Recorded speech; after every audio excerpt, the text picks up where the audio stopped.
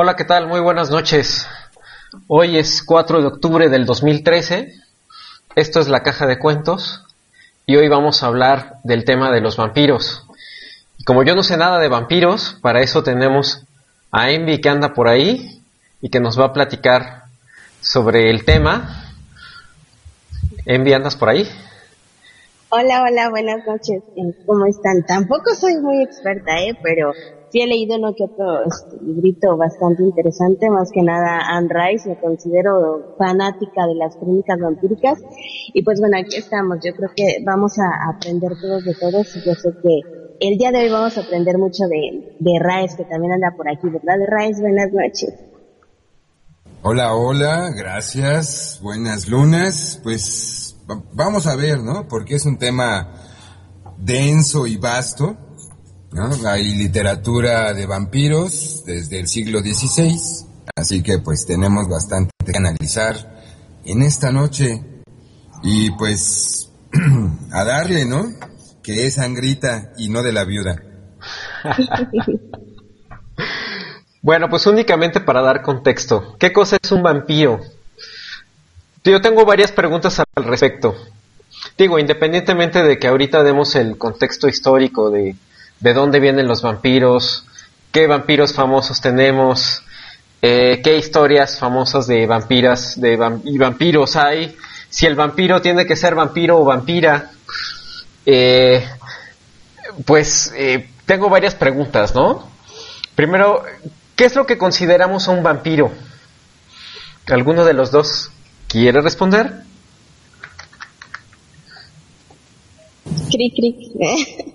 Le, le, la palabra a Raíz, Raíz. Bueno, pues remitámonos a, pues, a la acepción clásica, ¿no? Un vampiro es un ser que se alimenta de la sangre de los otros, de su fuente de vida, principalmente, ¿no? Muy a, a este, mucha diferencia del vampiro posmoderno llamado vampiro energético, o del vampiro postromántico, que es como una alegoría de la explotación del hombre por el hombre y de su capacidad de seducción, pues eso es más que nada, ¿no? Es alguien que se alimenta de los otros en base a su sangre. Yo hoy tengo algunas, eh, algunos datos. Digo, eh, yo no sé demasiado de vampiros, sé muy poquito de ello pero eh, tengo algunas, eh, algunos datos que dicen que en un principio la idea de los vampiros, que es una idea medieval, tiene que ver con que esta gente que no era ni humana ni totalmente muerta, en un principio no se alimentaba de sangre, sino más bien se alimentaba de carne podrida o de huesos. El tema con la sangre viene a ser una suerte de sincretismo a partir de leyendas como la de Isabel Báthory, que es, eh, o mejor dicho, fue una condesa húngara, que estamos viendo en este momento una imagen de esta mujer, que se hizo muy conocida en la Edad Media porque asesinó a varios maridos y a cerca de unas 600 doncellas, porque tenía una obsesión que era permanecer joven, y para ello pues tenía que eh, pues descuartizar a sus víctimas y bañarse en su sangre. Entonces, el tema de la sangre para este momento, pues viene a mezclarse con la idea de estos vampiros que se alimentaban como de carroña o de estos muertos vivientes, no necesariamente llamados vampiros. Eh, habrían tenido otros nombres. Y para... ¿Y cuál, cuál nombre, Res? O, larguísima, pero sigue, sigue. Ah, ok. Y bueno, eh, hace, hace algunos años, en un cementerio se encontraron restos de, en un cementerio antiguo, me parece que también en Hungría, se encontraron dos restos de unos esqueletos que tenían uno, tenía una vara de hierro atravesada en el tórax y otro más tenía un pedazo de ladrillo. De hecho, tengo la imagen, vamos a verla, es alucinante. Un pedazo de ladrillo en la boca para que no pudiera morder o si regresaba a este mundo no pudiera hacer daño. Ese. Pues se encaja perfecto con la descripción arquetípica, ¿no? Este, en los orígenes preliterarios de El vampiro, eh, tenemos muchas leyendas, las cuales en su mayoría vienen de los países este, que están alrededor del Cáucaso, ¿no? Leas Rumania, Hungría, eh, este, la antigua Checoslovaquia, la antigua Yugoslavia, todas esas culturas, ¿no? Los moldavos, los eslovacos, en fin, tienen una cantidad de folclore impresionante al respecto. Y en la cultura latina, ¿no? Tenemos el referente más antiguo, que es el Barcolac o el Versipeles, los cuales son eh, formas licantrópicas, ¿no? Precristianas. Y nos remiten a un origen común del vampiro y del werewolf y del hombre lobo como tal. Aunque aquí en el, en el estudio folclorólogo nos dice lo siguiente. El fenómeno del vampiro se puede dividir en dos clases amplias, las cuales a menudo se superponen en el folclore. La primera, el fantasma depredador de los muertos o del hechicero o bruja en trance de vuelo nocturno, una manifestación completamente inmaterial o psíquica, el espectro hostil que ataca y amenaza la fuerza de vida de la comunidad. Sin duda alguna, este es el aspecto más visto de la leyenda del vampiro y sostiene muchos secretos misteriosos profundos los cuales explorarán más adelante. Dos, el cadáver ambulante o esperpento de uno que ha llevado una vida de mal, quien rehusando descansar en la tumba retorno al mundo de los vivos con intenciones agresivas, tales como, como cadáveres a veces eran levantados de sus tumbas y enviados para cumplir las órdenes de hechiceros malignos en los viejos escritos. Estas dos concepciones de los muertos vivos a menudo se encuentran mezcladas y confundidas. Las características sutiles del fantasma vampiro eran tomadas literalmente por la mente popular, formando la última categoría de muertos ambulantes y de cadáveres animados. También encontramos la idea del cadáver y la tumba siendo la morada u hogar de la sombra, el portal mismo del inframundo. Se ofrece un clásico recuento del depredador muerto en la vida de Disertación del vampiro, Disertatio de Vampiris, de Johann Heinrich Sophius y Carl Francis von Dahlen, de 1733. Este ya es un poquito tardío, pero, este, en general, lo lo refieren rápidamente así. Los vampiros salen de sus tumbas en la noche, atacan a la gente durmiendo tranquilamente en sus capas, le chupan toda la sangre de sus cuerpos y los destruyen. Ellos por igual acosan hombres, mujeres y niños, no escatimando ni sexo ni edad. Aquellos quienes están bajo su influencia y maldad fatal se quejan de sofocación y de tener un complejo desánimo, luego del cual mueren. En fin, no solamente hay no solamente hay vampiros en la cultura occidental, ¿no? Tenemos vampiros en muchas otras culturas, hay entre los chinos, entre los japoneses, en Mesoamérica tenemos a un dios murciélago del inframundo, ¿no? Y además, pues toda nuestra cosmovisión prehispánica está basada en el culto a la sangre y en la ofrenda de la sangre como tal, así que pues no nos es ajeno toda esta cuestión. En la Biblia y en el mundo sumerio, pues tenemos a, a, sí, a Lilith, ¿no? Para empezar, como la primera mujer de Adán, ya hablamos en un especial de ella, que se revela, ¿no? Y al estirpe de Caín. Un saludo a Vic, por cierto, que hizo ese programa de Lilith. Un saludo a Vic, por supuesto, que ojalá nos esté escuchando. Ya, perdón, te interrumpí. no, no, de ninguna manera. Todo muy bien. El macabro mito medieval, medieval del sanguisuga o chupasangre como una vehemente con una vehemencia inexplicable en la parte última del siglo XVII y principios del siglo XVIII, con una serie de epidemias de histeria propagándose a través de Europa Oriental. Lo cual ocasionó que el filósofo racionalista Voltaire exclamara con disgusto que es que en nuestro siglo XVIII los vampiros existen, o sea, ya se quejaba de que era un pensamiento atávico, ¿no? En esto, después del reinado de Locke, Shaftesbury, Trenchtan y Collins. Los filósofos y enciclopedistas con su concepción del mundo cartesiana y su frágil intelectualismo estaban indignados porque su ilustración, la cual proclamaba el reino de la razón, existía lado a lado con obscuridad que usurpa y el crepúsculo primario de la noche antigua, el yermo y páramo silvestre en el cual los sueños y pesadillas más inmemoriales de la humanidad toman forma sustancial. Y de ahí que también pues tengamos una lista de vampiros femeninos en primer términos y después de vampiros masculinos, ¿no? Curiosamente hace rato estábamos viendo una, una imagen, ¿no? De, de Ishtar, curiosamente, muy relacionada también con el estirpe de, de vampiros sumerios. Y mientras estos pensadores estaban ocupados construyendo la frágil estructura de la doctrina racionalista en el siglo de las luces, Sic de Lumière, había una gran ansia por el encanto de lo, de lo, irracional, lo misterioso y lo pintoresco. Y esto nos suena invariablemente a que en el romanticismo alemán y los pararromanticismos europeos, pues obviamente esta escena, esta cuestión de el vampiro, ¿no? Se va a reconstruir totalmente y va a ser parte muy importante del figurativo eh, de la época, ¿no?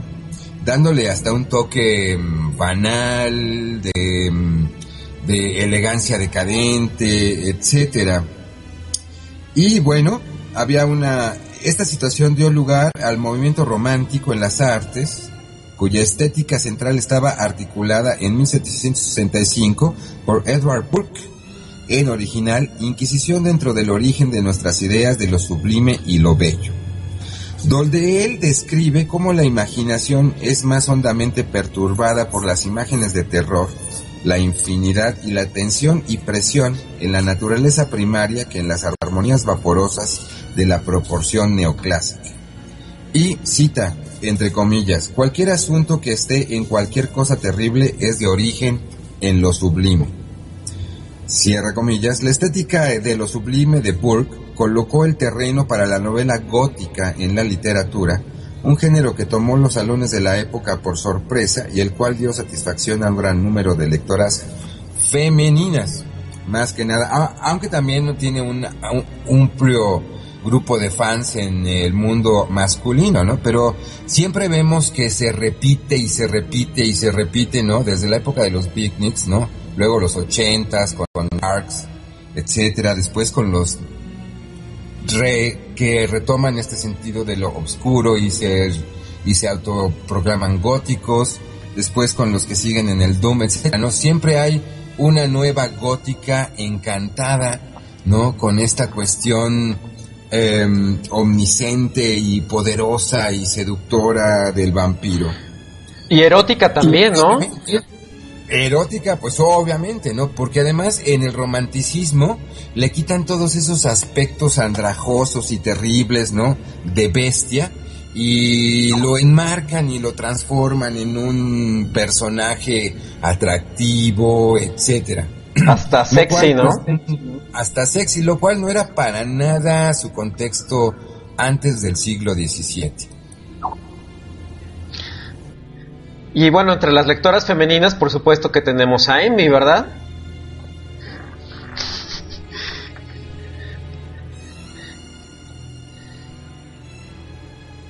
Envy, ¿andas por ahí?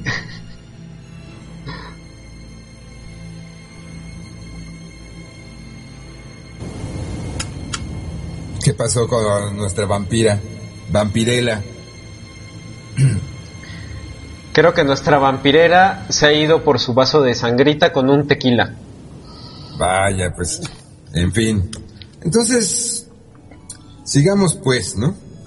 Este, hubo alguna vez una, una intención de que los primeros vampiros no eran necesariamente humanos, ¿no?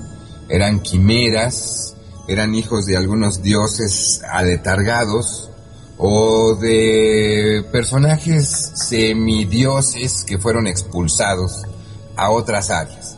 Por lo cual, pues encaja muy bien en muchas mitologías. Y dice aquí Lucán en su Farsalia, yo te invoco, Proserpina, como el aspecto infernal de la triple Hécate, quien permite que los fantasmas tengan relaciones sexuales secretas conmigo. O, en un refrán de los Volkini eslavos, hay dos dioses, uno arriba y uno abajo. El vampiro licantrópico del de folclore eslovaco y balcánico asumen las características de un panteón de ejemplares divinos más vasto y oscuro. Los dioses fantasmales de terror y las diosas de la magia, muerte, trance y paradoja del inicio de las cosas suministran el parque típico del vuelo espiritual y la metamorfosis animal.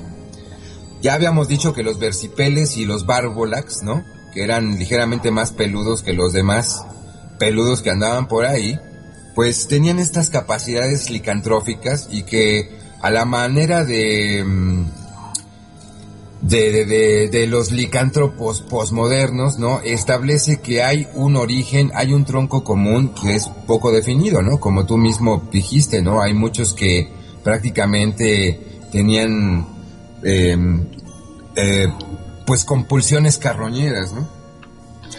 Así que eh, lo que sí nos plantea es que, así como la sed insaciable de los muertos por las esencias sutiles de la sangre, o en el caso de los hombres lobo de Livonia, cerveza fuerte. Hay una cuestión, ¿no? Hay una serie de hierbas, también llamadas hierbas de lobo, y la cuestión del ajo, ¿no? Que hace que los dampirgos, los que es el nombre antiguo que se le da a los daywalkers, a los caminantes diurnos, ¿no? Este, no se transformen en vampiros como tales o, estén en un punto medio de su transformación o de su lecantropía vampiróloga. El tradicional folclore vampirológico de la eslava de Europa del Este y Rusia, junto con los misterios de los cultos al hombre logro de la antigüedad y la Edad Media, eran precedidos por estas deidades oscuras. El culto al Barcolac rumano y al viejo Bulcolaca eslavo sin duda veían en el soberano terrible y europeo a su patrón y el origen de sus extraños poderes. El, el soberano terrible referido representa al dios de la aristocracia de los sacerdotes geniales y guerreros hechiceros de las estepas del norte del mar Caspio el maestro de los misterios que gobierna a través de su poder mágico que obliga sobre todo el universo. Sus rasgos característicos, según los que se han podido atisbar a través de la broma prehispánica, son aquellos de soberanía chamánica, y él es el señor siniestro y feroz de la sabiduría inspirada y la conciencia transformadora, astuto de muchos aspectos y omnisciente. Se le representa como en todas las iconologías antiguas, ¿no? Como un personaje posiblemente del inframundo, con los ojos desorbitados, tal vez con colmillos y con la, y con la lengua de fuera, como ya vimos alguna vez al hablar de Vlad Tepes, ¿no? Este, el soberano terrible es el dios del inicio de las cosas, quien viaja por el gran en medio entre la isla del, orden, la tierra del medio, el Midgard, y los mares del caos primario que la rodea. Esta divinidad es una que obliga y quien pone las cadenas del destino sobre el individuo y su nombre indoeuropeo original se derivó del término war won o war on, que significa obligación mágica, de la cual los griegos heredaron su dios Uranos o Urano, Anu para los Anunnakis, y los hindúes antiguos a su dios Varuna. El soberano celta era representado por el dios Lugus o Lug, que para los germánicos y los nórdicos es Luki, en especial por su aspecto más oscuro como el dios cornudo del inframundo, ¿no? Hasta el Chernún nos vino aquí a pues a ser mencionado, aunque en, entre los griegos, pues los calicanzaros no son propiamente vampiros, pero sí pueden actuar como tales. Para las tribus alemanas, sus características eran asumidas por el gran dios Wodhanas, o Woden, el dios Woden, a quien, o Odin, a quien debemos recordar, presidió sobre el anfitrión de Yule, anfitrión furioso, o el culto al hombre lobo de los Ulfetharn, o abrigos de lobo. En los decretos eclesiásticos de Knut encontramos el término Wodfreka Werwolf, hombre lobo silvestre y furioso, empleando la palabra de raíz germánica Wod, que significa éxtasis o furia, la cualidad chamánica de conciencia personificado por Wodhanas. Así, la transfiguración eslava de esta importante deidad aria porque también hay una deidad aria al respecto. Es de particular importancia para entender la vampirología esotérica y los misterios de la licantropía chamánica. En las crónicas prusianas de Grunau, en el siglo XVI, ah, encontramos la descripción de la más alta deidad de los prusianos viejos, el dios del terror de la muerte y la magia de nombre Patolo o Patollo con doble L, quien encabeza la triada de Percuno, el dios del trueno, y Potrim, perdón, Potrimpo, dios de la alegría y la fertilidad. A Patolo se le describía como un hombre viejo con una complexión cadavérica y una barba verde y larga, usando un turbante como tocado. Sus santuarios estaban adornados con calaveras humanas, equinas y bovinas. De acuerdo al eminente erudito sobre lo indoeuropeo, Chaal Pugbel, podemos interpretar el nombre de Patolo significando inframundo, relacionado con el coñado del término hindú Patalam, que también se lee como inframundo. En otras partes, es el nombrado Pekelus, el cual se deriva de Picti, que quiere decir colérico, de nuevo con resonancias chamánicas. También en lituano, Piculas quiere decir diablo, demonio, como en rumano Dracul, como en latín dragón, etc. Los recuendos antiguos lo clasifican como Pluto y el dirigente de las furias, nombrándolo dios de los fantasmas voladores el dios del infierno y la oscuridad.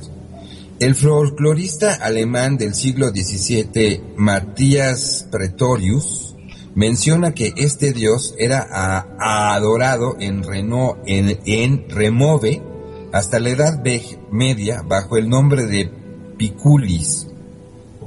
También los galos, ¿no? Hacían en, un, en la Roma imperial, eh, le hacían un culto a la Mater Magna, ¿no? Donde en honor a este precisamente Urano y a, o a Anu, este, mm, corrían en un frenesí y se castraban, ¿no? Para recibir a la diosa, ya que Roma era un culto hacia lo masculino, hacia Marte, pues este tipo de rituales, ¿no? Que hacían los galos, porque a los romanos no se les estaba permitido, era parte muy importante de su cultura para dominar a las masas. Este, ¿qué más podemos comentar? Pues yo te tengo el, el mito en Escocia. Nos comentaste ahorita este eh, sobre la parte románica. En Escocia también hay una cierta mitología y folclore. Y ellos hablan de, hablan de dos tipos de mujeres. Una que se llama Baoban Sith que son unas mujeres muy atractivas, muy frondosas, muy generosas, pero son mujeres de las que todo el mundo habla y nadie ha visto, ¿no? Y hay otro tipo de mujer eh, mítica que se llama las Banshee, ¿no? Hermosas. Así es, y bueno, hay eh, dos cuentos alrededor de esto. Una es que estas mujeres murieron en el parto y se les concede volver a reclamar la sangre del nonato. Entonces lo que hacen es no a matar gente, sino se conforman con morder eh, a la gente que está dormida o descuidada y hacerle pequeñas incisiones. Esto es una cosa muy extraña, o sea, regresar por la sangre del no nato es algo muy muy extraño o difícil de entender para mí al menos, ¿no? Aunque, bueno, sí. Sí. Pues es que tiene su parangón con el mito de Lilith, ¿no? Que se alimenta de la energía de los no nacidos. Ah, pues puede traer, tener su origen ahí justamente. Por ejemplo, el mito de las Baoban Sit, que habla de estas mujeres pálidas, altas, de hermosas, vestidas con una túnica eh, que oculta sus pies, da origen a la idea de que las mujeres levitan. Como no les ven los pies, entonces te da la idea de que la mujer no toca el suelo. Entonces, eh, de alguna manera, eh, ¿cómo te explico? Eh, para los escoceses sigue siendo nada más una leyenda genial. Y pues hay gente que todavía se clava en estos temas y va en búsqueda de las Baoban Seeds o de las Banshees.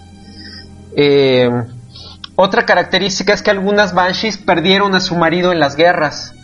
Entonces van a reclamar la sangre del marido, así como también reclaman la sangre del nonato, también van a reclamar la sangre del marido.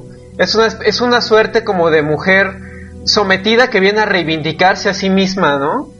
Tomando la sangre de otro por aquello que le fue arrebatado. Es una cosa muy extraña. Eh, Envy, ¿tú tienes algo más que nos quieras comentar sobre historias de vampiros? Hola, hola.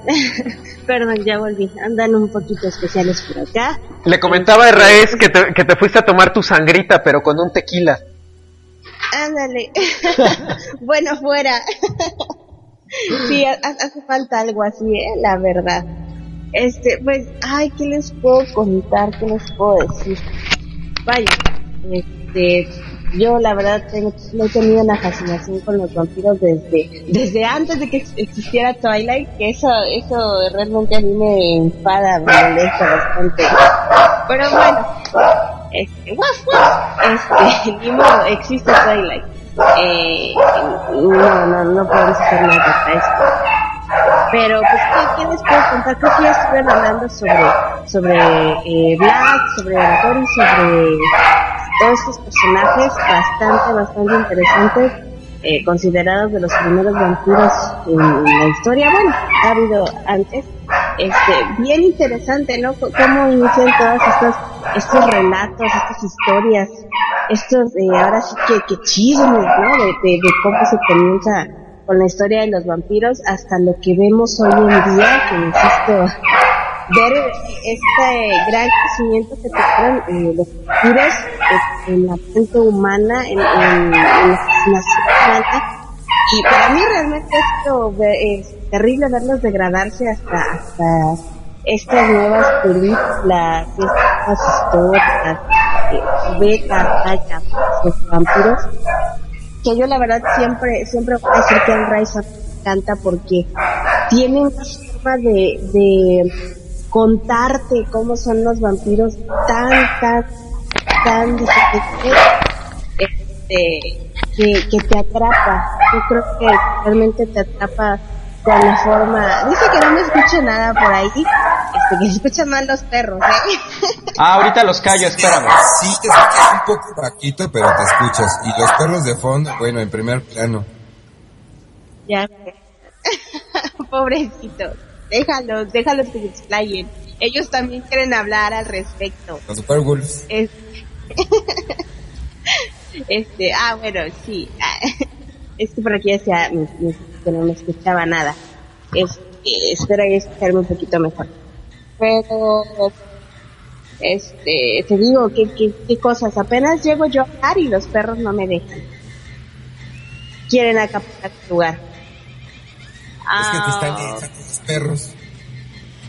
me están echando los perros. Literal. Bueno, literalmente. Creo que Alex está ahí ocupado con sus, con sus bebés.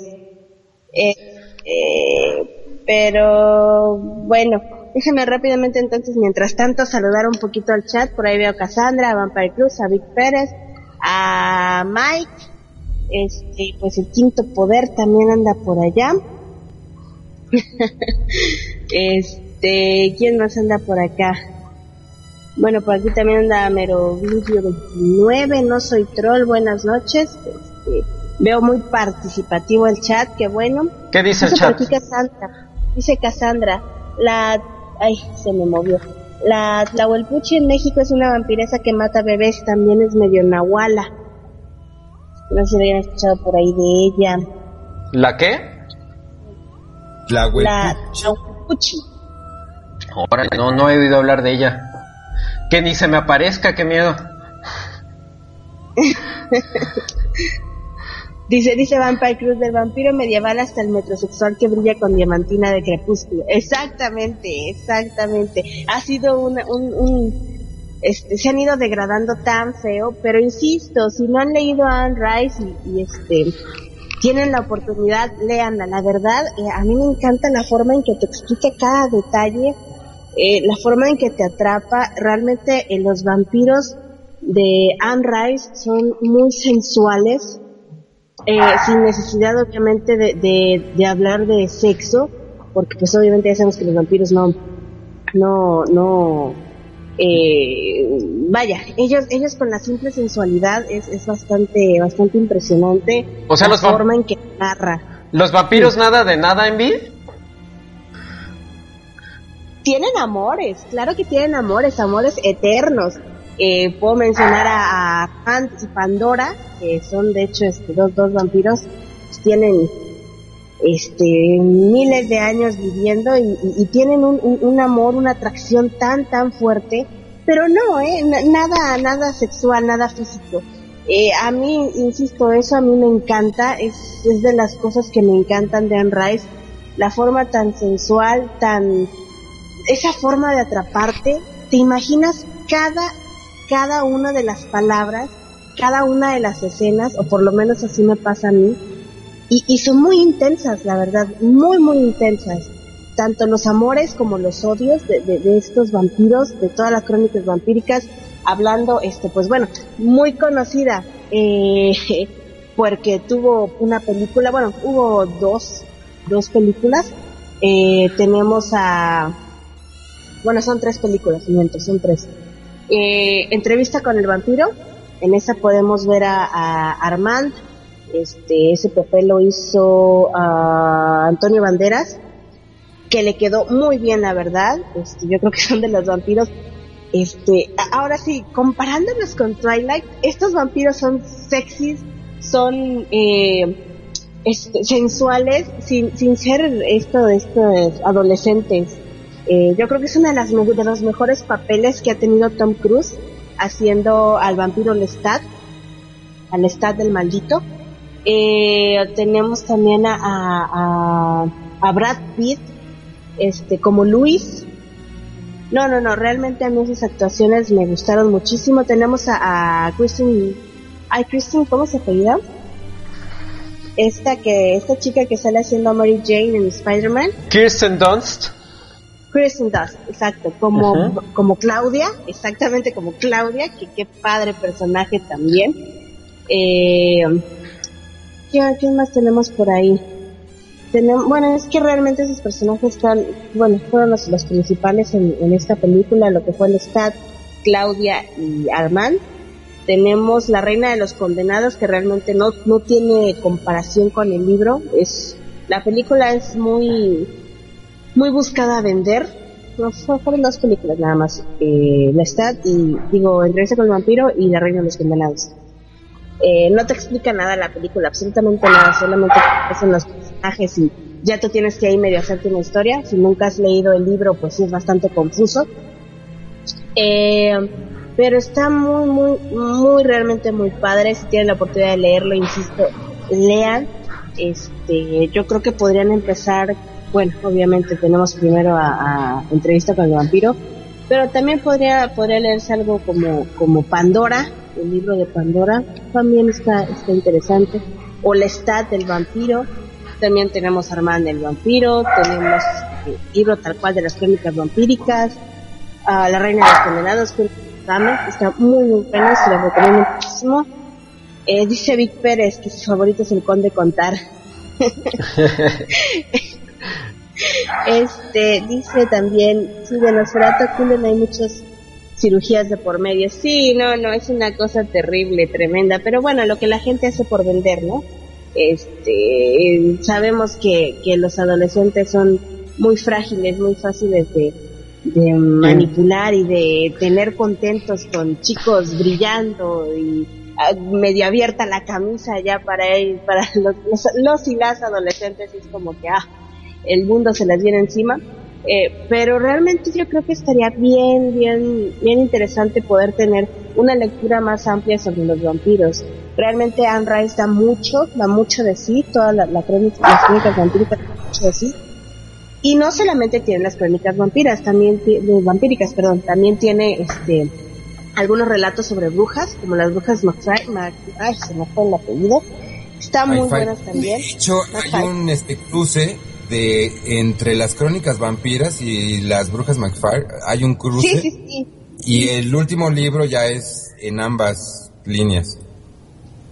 Así es. Y también están las, las de el Menoje el maldito, este, entonces está muy, muy interesante. Yo creo que tiene muchísimo que dar este Anne Rice. Bueno, eh, últimamente ha escrito más, o bueno, cambió un poco el giro. No sé si lo hayan visto, hayan visto sus últimos libros. Sus últimos libros ya están más enfocados en la religión. Cambió bastante, se fue para para este Nazaret y para todos esos rumbos y cambió bastante bastante de de, de enfoque para escribir, pero realmente tiene muchísimos libros que dan muchísimo que dar. Este, dice por acá Vampire Cruz que prefiere al Conde Pátula y a Marshall Lee en los dibujos animados. Eh, ¿Quién más está por aquí? El conde, el conde Pátula era la onda, ¿eh? Ah, sí, no, con, con, con la nana y no, no, no, qué cosa tan divertida. Así es. Ah, dice Cassandra por aquí, los amores que escribe Anne son puro amor cortés, muy sexy, pero no truenan el chicharrón. Exactamente.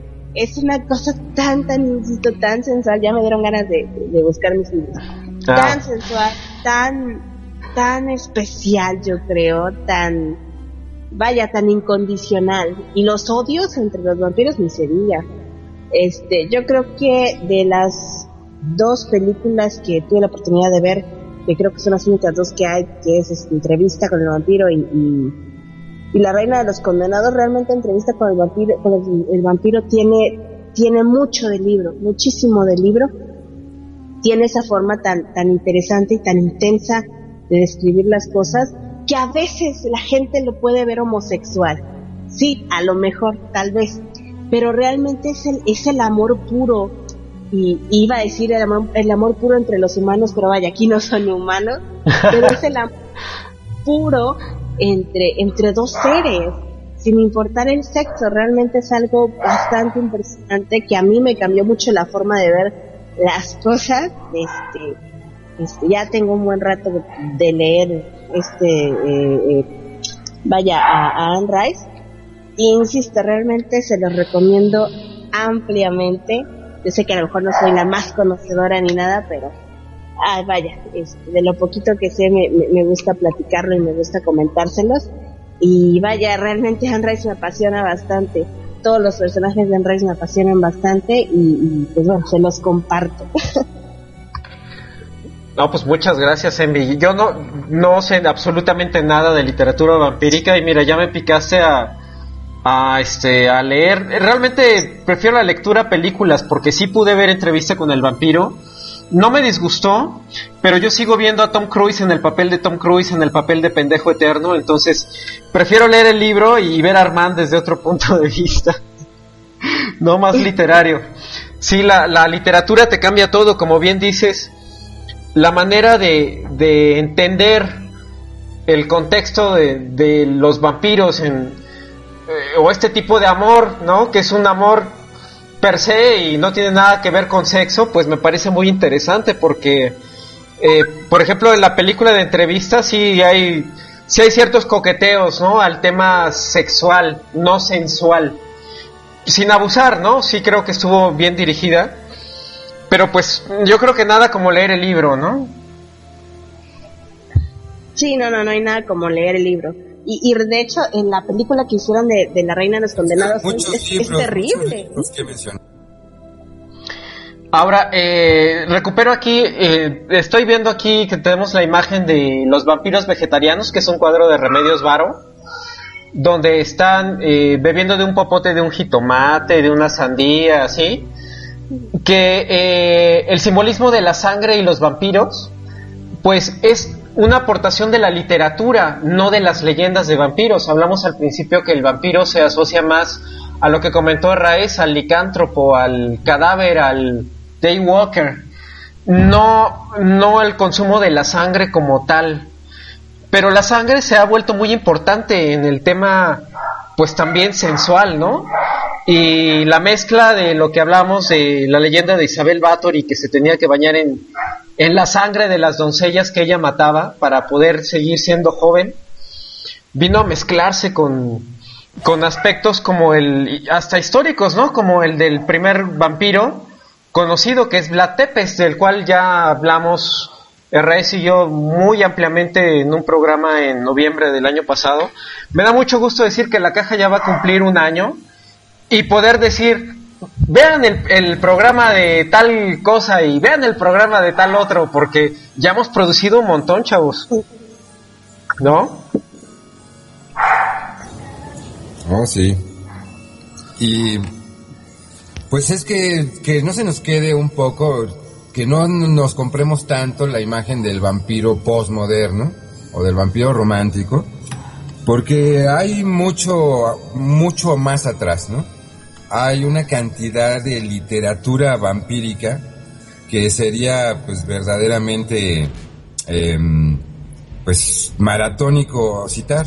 También este hay una cantidad de personajes fol folclóricos que también sería una lista muy muy larga. Este, pero tenemos, bueno, tenemos media hora, ¿eh? Intento. Quiero ir de lo folclórico y luego me quiero eh, brincar, si se puede, a, a, lo literario y sobre todo la, la literatura antes del 19, antes de Bram Stoker. Entonces, este, pues por orden, ¿no? Les voy a leer una serie de nombres que se les da en diferentes puntos y en diferentes, eh, digamos que folclores. Y dice el Alp en alemán, ¿no? Es un incubo, vampiro, fantasma, depredador, chupasangre específicamente. El, el agriogorgonum en macedonio, que es un berraco salvaje. El Beobdad Sit en escocés, como tú ya dijiste. Y las Banshees también son del reino de las hadas, ¿no? Son hadas vampiras, ¿no? Tenemos el, Blossang el Blossonger en bosnio a alemán. El Bruksha portuguesa. El Burkulacas griego el Chesme turco, el Dashnavar armenio, el Derdul este, irlandés, el Doppelsojar en, en mendoliano, el Dampir en serbio, que era el este Daywalker, el Drog en nórdico viejo, que significa caminante de la muerte, el Suma en rumano, la, eh, eh, la herética rusa, el frog, que es una especie de, de, de, como de diablo rana, que es un vampiro para los gitanos. También tenemos el, el, el, gar, el gargaf o gargof en normando, este mm, que, que, que incluyen al este bretón Gargol, Garul y Garol. También tenemos el Gerulfus en latín bajo, el Gierwolf en holandés, el Gorgol en galés, el Incubo en europeo medieval, el Inuberchi en ruso, el Calicanzaros griego, y yo soy uno de esas especies de vampiros vegetarianos. El Caracondigilos en circasiano, el Kresnik en esloveno, el Kvojak en búlgaro, el Kutlak en esloveno, el Kunatropos también en griego, que significa hombre perro, curiosamente, el Lampir en bosnio, también este, hay muchos gitanólogos metidos en estos menesteres, porque son hijos de la luna, ¿no? Y la luna no siempre estuvo ahí, dicen ellos. El Lenan Sait en islandés, el líder Nadali en húngaro, el Yugat albanés, el Levishomen en portugués, el lobo hombre que no hombre lobo en español, en los Pirineos españoles y en la Cantabria. De hecho, por ahí hay un este un cuento que, dice Arroyos del licántropo. El Loup Garot en francés, el Lupin también en francés, el Lupo Manaro o Manaro en italiano, el Mesateps en letón, el Meneurs del Lup en bretón, el Morfoi rumano, el Mullo en romaní, el Murunoni en valasiano, el Nachsenrerer en alemán y báltico. Espero que lo haya dicho bien, mi estimado Hermes, si andas por ahí. Nachserenrer, perdón. En el Apsi, en eslovaco, el Neutoter en alemán, el Nosferatu en rumano, el Ojin en polaco, el Pangri en húngaro, el Pillavica en esloveno, el Pricotistli en walasiano, el Rubanush en romaní y gitano, el Sanguisuga en latín medieval, el Strehlo en valasiano, el Stroni benefici en italiano, Stringele en rumano, Stroh y en rumano, Strix, Striga en latín y en rumano, el Taksim en europeo del este, el Upir en ruso y eslavo, el Barkolak en rumano, que es bastante conocido, el Gestica en eslavo, Baruch en gerdés, Versipeles o Versipelis, eh, que aquí tenemos que referir a Plinio en su octavio libro de la historia natural, describe a los hombres lobo de Acadia como Versipelis, ¿eh? lobos de otro mundo. El werewolf en Sacón, en Sajón, ¿no? que ya lo conocemos como hombre lobo. El Smeu en Moldavo, y bueno, estos fueron una ligera y rápida lista, muy rápida porque no puedo hacer las excepciones de todo, sería demasiado, de todos los nombres por los que se conoce al, al referido personaje. ¿Qué les parece? Hermes, andas por ahí.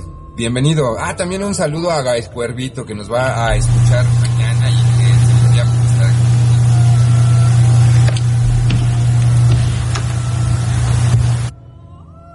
¿Eso que se metió que fue? ¿El vampiro o, o Hermes? Creo que fui yo. Buenas noches. ¿Qué tal Hermes? ¿Cómo estás? Bien, bien, gracias. Aquí llegando y escuchándolos. Perfecto. ¿Algo que quieras comentar sobre los vampiros?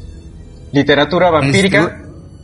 Ok, sí creo que eh, Raíz ya ahorita nos dio toda una cátedra de todos los este los nombres y creo que mencionó al principio, no sé si lo, lo haya mencionado, lo conozco y creo que lo lo hubo mencionado en la parte este nórdica germánica como tal este no hay mitos de vampiros, pero sí hay una cosa que se les llama los los muertos vivientes.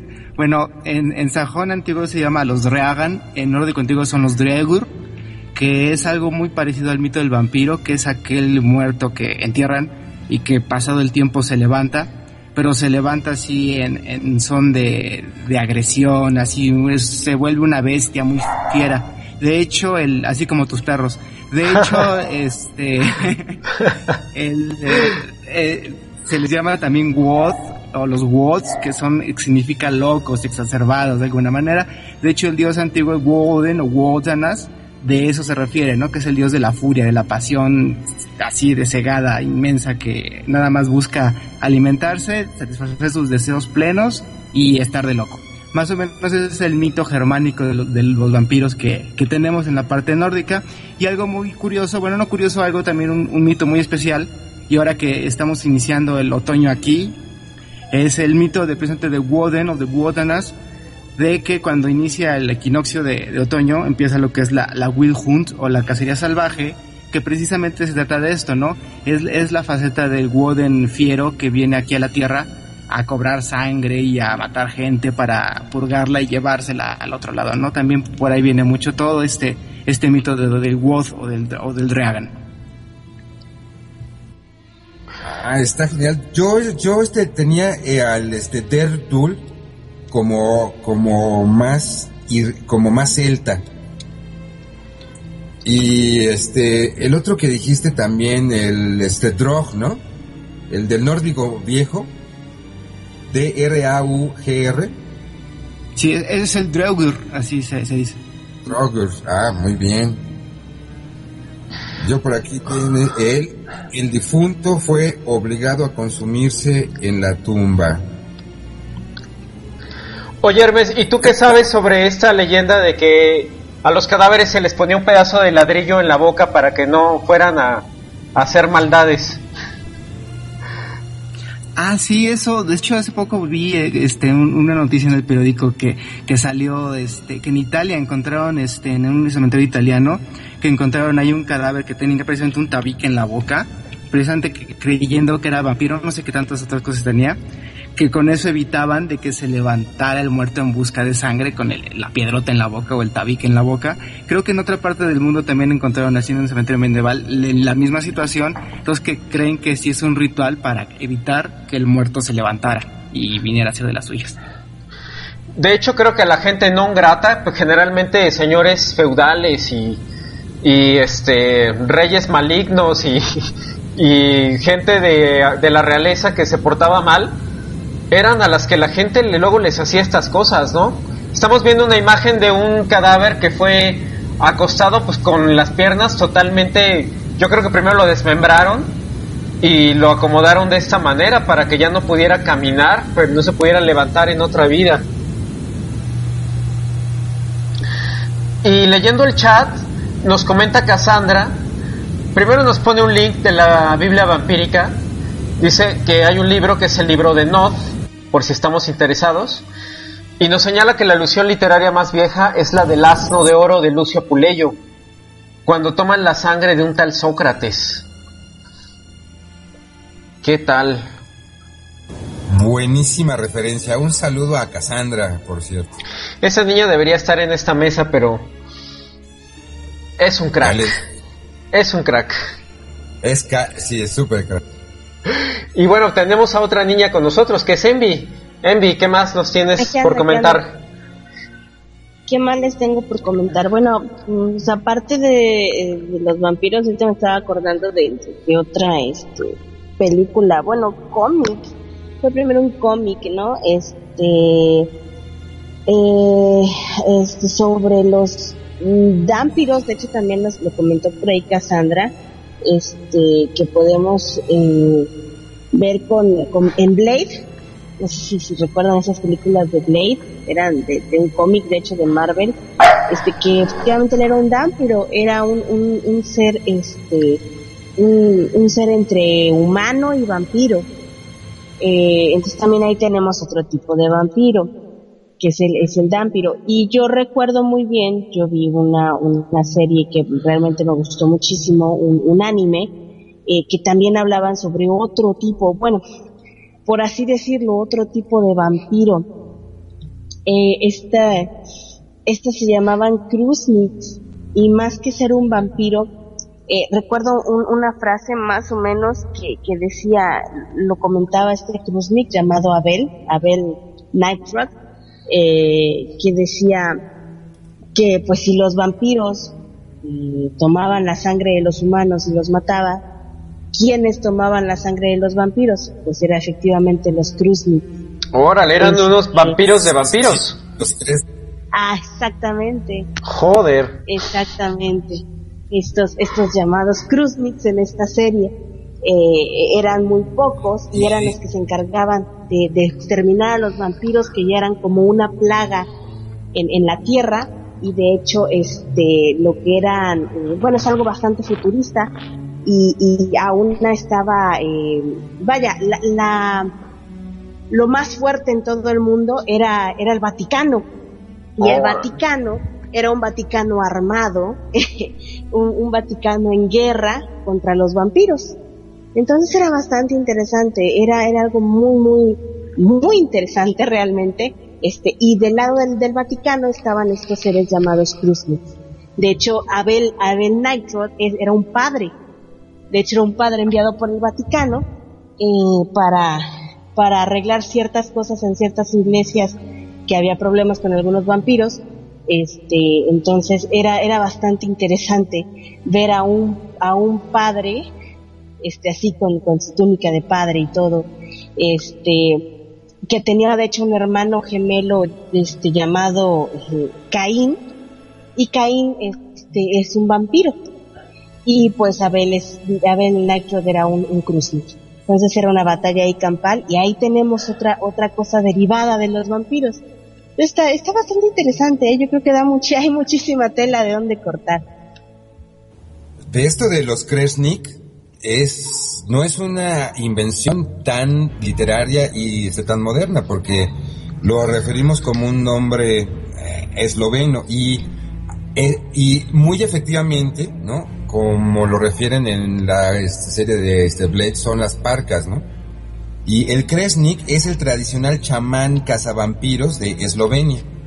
En estas regiones, tanto el vampiro Kresnik como el vampiro Bukodlaki son nacidos bajo ciertas constelaciones, con la placenta sobre sus cabezas. Ellos están destinados para ir de noche en espíritu sobre los cruceros de los caminos y periódicamente luchar en contra de cada uno de ellos por la fertilidad de la tierra en ciertas noches. El Kresnik nace con una placenta blanca y desde los siete años de edad se vuelve activo combatiente contra los vampiros, cayendo en traces profundos durante los cuales su alma astral deja al cuerpo por la boca en forma de insecto. Los Kresnik también asumen las formas de perros blancos, berracos, caballos, toros y aún la de ruedas de fuego para ir a combate. ¿Qué tal? Es toda una serie de mitos que vienen a, a hacer algunos, hacen cierto sincretismo, ¿no? Se mezclan ahí historias. Aunque nos mencionaba Hermes que, por ejemplo, en la parte nórdica no hay vampiros como tal, pero pues ya se nos refiere la idea del cadáver viviente. Eh, ¿al- ¿Sabes de algún otro rito, Hermes? ¿Algún otro rito de, de otoño, aprovechando que está empezando este precioso mes de octubre que envió la noche ayer? Se, seguramente presenció algo sumamente bonito y lo mejor de la vida es gratis, caray. La luna ayer estaba hermosa. Este. Hermes, ¿tú tienes más información sobre algunos este, mitos por ahí? Mira, de, de mitos, este, los nórdicos, eh, bueno, recordemos que los nórdicos, los germanos y todos esos, este, quemaban mucho a sus, a, sus muertos, los quemaban, no los enterraban tanto. Ya con la llegada del cristianismo, ya fue que los empezaron a enterrar más. Antes sí también los enterraban, pero no era tan, tan común, vaya. Entonces había una práctica así medio rara, de que algunas los enterraban de pie. En lugar de enterrarlos acostados, los enterraban de pie. Y esos que enterraban de pie muy probablemente se convertirían en los famosos Draugur o los Dreagan y empezarían a deambular ahí, este, pues comiendo y matando gente, ¿no? Entonces, este, está muy chistoso porque arqueológicamente hablando, no se sabe por qué los enterraban de pie algunos. Entonces, se, se cree, también se supone que era un castigo, una manera de, de maldecir al que estaba ahí enterrándose para que sufriera como muerto viviente. De hecho, era, era como una, era una maldición así, ¿no? Es, este, así algo feo que te podía pasar, ¿no? Entonces, más o menos por ahí, este, también está esa parte curiosa. Oye, Hermes, este, ¿conoces esta piedra de este Calebi? donde están los encantamientos rúnicos del, eh, del Gunmen. Ah, el, el Calabala, ¿no? Sí, sí es el Calabala, creo. Sí, sí, sí la he llegado a ver, la conozco. Que dice algo así como Thrawiyan Heitinas Was. ¿En español significa qué? El que va a ser muerto caminante. Órales. Qué miedo. Lo que sería bueno es saber el orden de las runas. Sí, habría que, habría que revisar bien en la, inscripción a ver qué dice y en, qué lenguaje está también, porque fue cambiando con el tiempo. Aquí me lo refiere como nórdico viejo. Y bueno, yo quiero mandarle un saludo a Vampire Cruz, que él dice que prefiere más que la sangre, las frutas y los dulces. Es un goloso ese vampiro. Uh, yo sé de otro que es igual de goloso. Oye, pues es que después de ver estas, este, estas vampiras, y dices, reina, bebe mi sangre, ¿no? Voy a poner aquí una que sí dices, hoja, ¿no? ¿O tú qué opinas en mí? Ahorita que hablabas de, de los vampiros de Anne Rice que, que estaban, este, eh, muy sexosos, ¿no?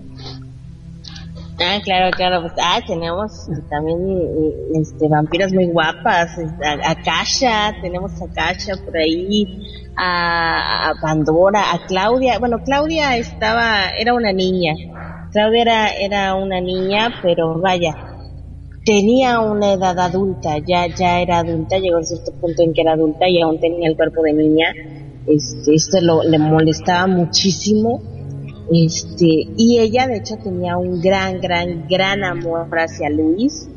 Este, era, era tremendamente encantador. Este, pero claro, hay vampiras muy guapas, este, las hemos visto por ahí. Este, ahí nos dejó una, una Alex también. este, ah, también recuerdo este, esta película con, con Chloe, bueno, la, chica de Kikas, este, Let Me In Ah, Que, también, digo, eh, Sí, es esta vampira que permanece de 12 años, ¿no? Era lo que comentabas. Creo que se trata de la misma vampira.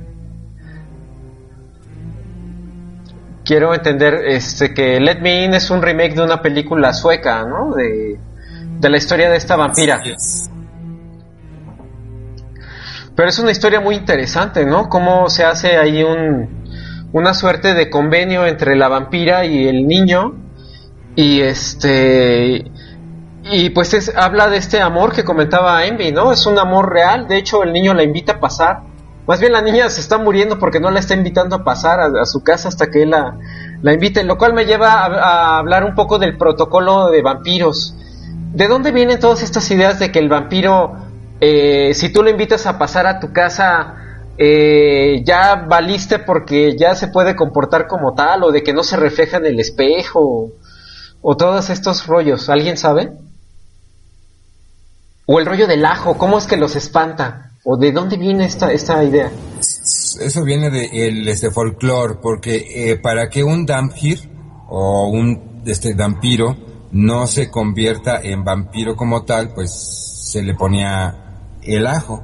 Pero la cuestión de la, de la invitación, pues muy posiblemente tenga que ver más con este, pues con la literatura, ¿no? Mm, me quiero imaginar, ya por ahí, por, por el, por el siglo XVII, XVIII, ya había algunos poetas como Henry August ¿no? En que ya eh, estaban determinando los primeros cánones en cuanto a, a cómo se comportan y está una poesía pop, este pop muy popular en Hungría y en todas estas partes de August Osselfelder que solamente se conoce como el vampiro.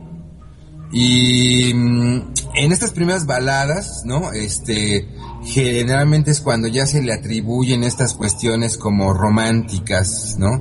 Y pues tenemos una especie de influencia de algo que se le llamaba la danza de la muerte, que era una especie de ofuscación medieval a esas cuestiones, así que es un eh, es un eh, es un eclecticismo, digamos.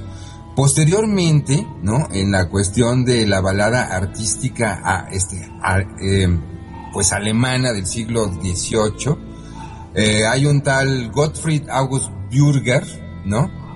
Mejor conocido este en un movimiento como el Sturm und Drang, que pues realiza un tratamiento literario sobre el, este tema de el, de el valpirismo. Así que hay un, hay un poema muy famoso de 1773 que se llama Leonor, que narra la, pues la historia de, de este, una joven, a este, mm, que un poco me remite a esto que referían ustedes de Let Me In, porque es muy, muy similar en alguna forma.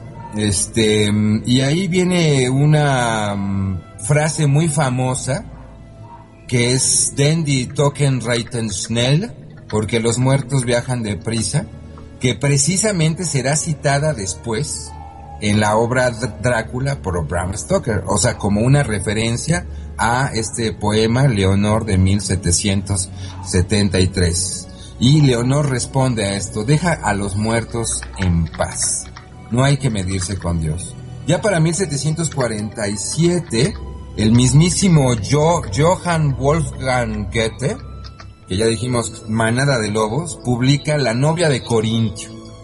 Y, y aquí es un primer rife entre el Heitan y el cristianismo, ¿no? Entre poner un personaje que pueda mediar entre el paganismo y el cristianismo. De alguna forma. Este, em, también en un episodio de los, de los libros de los prodigios de Fregón de Talles, un autor griego del siglo I, donde se narra la historia de Filinea, también una bella joven, ¿no? Que es vampira, que es enterrada viva, puesto que es sorprendida en el hecho de un extranjero, etcétera. Entonces, em, Goethe hace una referencia y, em, con un argumento de otro autor, de Diderot, y es publicada en 1796. Em, también este, en la historia de Mencio Licio y la Empusa, referida por Filostrato en el libro 4 de su vida de Apolonio de Tiana, que fue escrito en el siglo II después de Cristo. Este, mm, de ahí yo creo que Goethe es de donde se, se basa, ¿no? Para, para su novia de Corintio. Em, ¿Quién más también? Robert Surti en 1797 eh, Talas, el destructor. No podía faltar el poema épico de Lord Byron, el, el que, pues que se llama El Yaur, em, que también pues hace una referencia directo que dice, but first on earth as, as vampires sent They course shall from a tomb be rent. Then lastly hunt thy place and suck the blood of all my race. ¿No? Y ahí habla también específicamente de la, de la sangre. Eh, por lo tanto, Byron, pues, también tiene su contribución al género vampírico definitivamente. Este, mm, y bueno, pues de ahí su este, relación con Shelley y todo esto que ya hemos em, pues hablado en alguna época cuando hablamos de los Golem y que de Frankenstein y todo eso. Así es. Em, también uh, Ciprián Velar, ¿no? Em, director de teatro, escribió lo que primero fue el, el, el teatro de los vampiros, que hace una una, una referencia a Anne Rice, ¿no? En, precisamente cuando Luis viaja a conocer a Armand, ¿no? Y ya había alguien que ya había hecho esta cuestión del teatro de los vampiros o teatro de vaudeville. De ahí el término primero de vaudeville, ¿no? Muy, muy, muy curioso en Les Vampires, ¿no? Publicado por Lea, Le Advocat en 1820. Como dijeron por ahí, Charles Nodier, también, un del romanticismo francés, ¿no? Hace su obra de teatro en este romance llamada Berrand Le Vampire. Um, Envy tiene un dato chistoso por ahí, Por nos, nos comenta. Bueno, es que es, es algo que me pasa a mí muy seguido. Ahorita que mencionaron sobre, sobre que, bueno, los vampiros no pueden pasar sin una invitación previa, sin que los inviten a pasar, a mí eso me pasa muy seguido. Este, A si ver, no a me ver. invitan a pasar a las casas, si no me invitan a pasar a las casas, no paso. Como que me quedo ahí parada y de hecho mucha gente me dice, ¿por qué te quedas ahí? Yo no sé, es que no me invitas a pasar. Y no sé, es algo, es algo, no sé si es algo que ya tengo arraigado por leer tanto de ese tipo de cosas. Pero yo creo que sí, ¿eh? No creo ser vampiro, lo dudo mucho, pero creo que tengo muy arraigado. De hecho, este, hace unos días, bueno, hace unos días anduve este, de viajecito por, a- por allá por otros rumbos, este, y me pasó exactamente eso. Me invitan a pasar y, y yo me quedo, bueno, no me habían invitado a pasar. Este, estaba yo fuera de, de la casa, este, y, y me quedo ahí parada y me dicen, ¿por qué te quedas ahí? Pásale, estás en tu casa. Y ya cuando me dicen eso, pues paso muy confianzuda, ¿no? este, y lo mismo me pasa, o sea, me, me pasa mucho, mucho eso, ¿eh? Este, ya sea la casa o, o alguna habitación continua, este, que esté a un lado ahí, este, ya sea un cuarto o algo, es como que me quedo ahí parada, no sé, como que no entiendo por qué apenas llego a la puerta y me quedo ahí parada. Y es muy chistoso. Y, y cuando mencionan esto, cuando leo eso, realmente no, no puedo evitar reírme. Definitivamente no puedo evitar reírme, este, porque me pasa mucho. Este, no, yo sé que dicen por acá que se llama educación. Pues sí, sí, pero hay personas con las que, pues digo, tienes toda la confianza del mundo, pero aún así me pasa y no deja de hacerlo, a pesar de que tenga años y años de conocer a esas personas, o tenga poco, pero tenga demasiada confianza con esas personas, como me pasó este en, en este viaje a Querétaro, que, que realmente me, me quedo ahí parada viendo la puerta justo antes de entrar y, y les digo, me da, me da muchísima risa este cada que me mencionan algo así. Este, pero yo creo que sí, probablemente es educación o se me ha quedado muy arraigado esta, esta creencia. Ya te que- mimetizaste. Sí, yo creo, ¿eh? Con la creencia de que si no me invitan a pasar, no puedo pasar. Este, muy, muy, muy chistoso. Esperas a que te Bueno, digan, a que te digan, pásale mi vampi. Pásale mi vampi. Dice, oh Hécate, invítame a pasar. Oh amiga y compañera de la noche, invítame a pasar. Quien se regocija en los ladridos de los perros, ya ven, y la sangre derramada, quien vaga en las sombras entre las tumbas, quien anhela la sangre y trae a los mortales terror. Gorgo, Mormo, luna de mil caras, mira con favor a nuestros sacrificios e invítame a pasar. Chale. Es- es- o sea, los perros me ladran y, y luego no paso si no me invitan. Bueno, ¿qué están tratando de decir aquí? No, Envy, ya es, eres un caso de, de simbiosis. ¿No? De mutación licantrópica. le- licántropa. Licantrópica sería, ¿no? Mm, Tropa, trópica, aplica los dos como sufijo correcto. Pues chicos, son las 10.59, tenemos que despedir esta caja de cuentos. Hay que leer a Baudelaire. Es un poema corto, ¿se puede? Se los leo eh, de, en español y ya no se los leo en este francés, que yo quería leérselos en francés. Pues yo creo que será en español, tenemos un minuto. Ok, tú, que como una cuchillada en mi corazón doliente has entrado, tú, que fuerte como un tropal de demonios llegas loca y adornada. De mi espíritu humillado, haces tu lecho y tu imperio, infame a quien estoy ligado como el forzado a la cadena, como el juego el jugador empedernido, como a la botella el borracho, como a los gusanos la carroña, maldita, maldita seas. He implorado a la espada rápida la conquista de mi libertad y he dicho al veneno pérfido que socorrera mi cobardía. Ah, el veneno y la espada me han dañado y me han dicho, tú no eres digno de que te arranquen de tu esclavitud maldita. Imbécil de su imperio, si nuestros esfuerzos te liberan, tus besos resucitarán el cadáver de tu vampiro. Baudelaire, estrofa 31. Wow. Pues muy bien, chicos.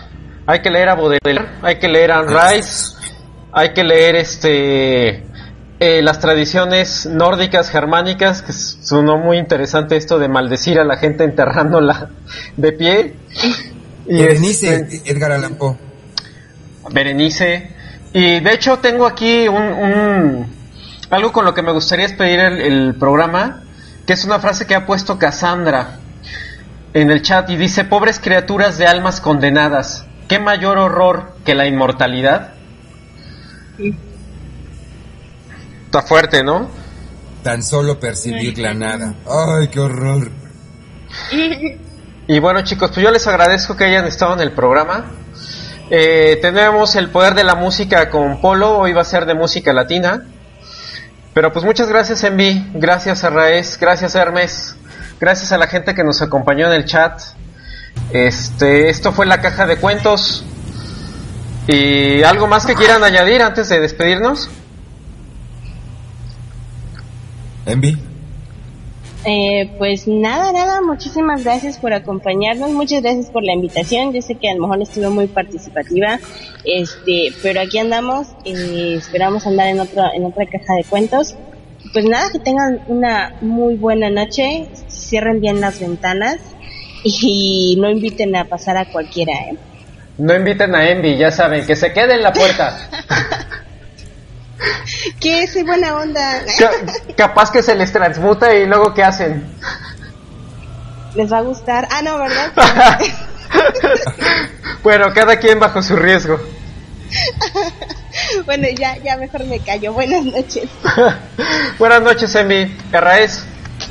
Ah, pues se nos queda muchísimo, muchísimo. El oro, la ciudad de los vampiros, Buy de Montparnasse Ed Hoffman, Ernst Lomo Roper, deja a los dos en paz, Urlich, eh, Hawthorne, Marion Crawford, se nos Gogol mismo, Alexei, Milanovsky, la familia de Burdalak, el judío errante y todas esas cuestiones, pero bueno, Carmila y muchos más.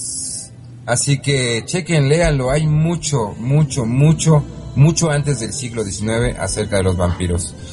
Y bueno, pues buen provecho, eh, que la sangre le sea cono, este, concebida pero no robada. Lo, lo malo de ser vampiro, eh, vengador, es que te tienes que chupar a cada porquería y, y, ni, modo que te chupes a lo bueno de, de esta vida. Sean vampiros vegetarianos, les mandamos un fuerte abrazo Gracias por estar aquí, me encantó. Un, este saludo a Hermes, a Vic y a este cuervito, a Cassandra. Buenas lunas, buenas noches, chao, chao. Hermes, ¿algo que quieras añadir antes de concluir? Este. Bueno, no, nada más recomendarles un, un, libro de vampiros que sale de lo común. Ya saben que me gustan las cosas que salen de lo común. Muy retorcidas, además. Es un tal Brian Lomley, se llama el escritor, es un escritor inglés. La saga se llama Crónicas Necrománticas, son como seis libros y expone a los vampiros muy raro porque es una mezcla de ciencia ficción, este, espionaje, policíaco, todo el asunto así muy retorcido como tú dices. Muy bueno, se lo recomiendo. Se llama Crónicas Necrománticas, son seis libros y el autor se llama Brian Lomley. Lomley.